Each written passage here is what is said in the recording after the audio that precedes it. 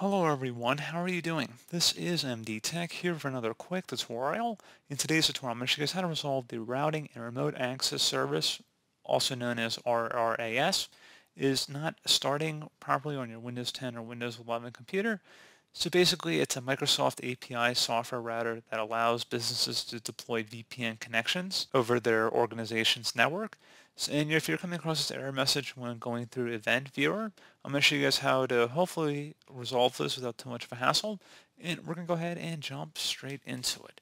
So we're going to start off by opening up the search menu and type in regedit. Best match to go back to registry editor.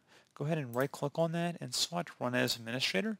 If you receive a user account control prompt, you want to go ahead and select yes. Before you proceed in the registry, I would suggest you create a backup of it. So if anything were to go wrong, you could easily restore it back. So in order to create a backup, all you have to do is select File and then Export. File name, I recommend naming it the date in which you're making the backup. Set export range to all and save it to a convenient and easily accessible location on either your computer or an external hard drive, which is probably going to be a safer bet. And if you ever need to import it back in, or basically just reverting it back to how it was before we did any modifications, you would select File and then Import and then navigate to the file location, either it's on your computer or that drive, wherever you may have saved it. And now we're ready to begin. So we're going to start off by double clicking on the HK local machine folder. Do the same thing now for the system folder. So go ahead and double click on that. Same thing for current control set. And there should be a services folder. Double click on that. And then finally, you want to look for a RAS, R-A-S, man, M-A-N folder. So I'm just going to click on a random folder here and just start typing it in. It will take you to that folder. So again, R-A-S-M-A-N. So if you look up at the top bar here, each backslash is a different subfolder we've gone under to get to this point. And now you want to direct your attention over to the right side here, and you want to locate a value that says SVC host split disable. Double click on that you want to set the value data to 1, so delete any other numbers that are in here. Type in number 1, base should be hexadecimal, and you want to select OK.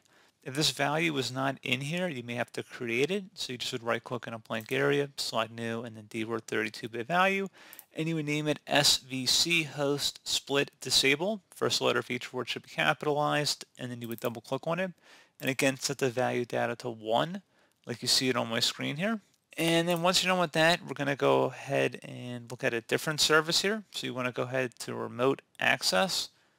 So we're going to either scroll down or just type it in, but you can see this is remote access. And now you want to locate, again, the SVC host split disable. There should be another dword value over here as well. Double click on it, and again, make sure value data is set to 1, and if you didn't see it, you would have to go ahead and create it. Same way we did the other one, so pretty straightforward. So go ahead and close out of there. And then if you had to make any changes, you want to go ahead and actually restart your computer at this point. So go ahead and close out of any open windows and programs and go ahead and restart your computer.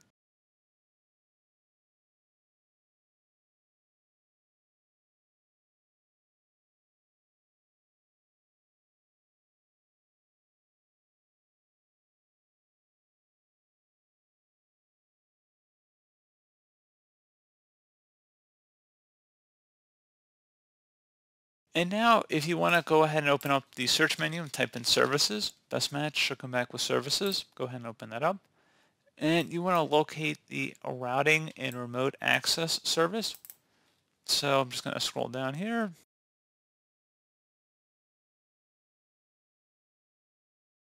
And double click on it.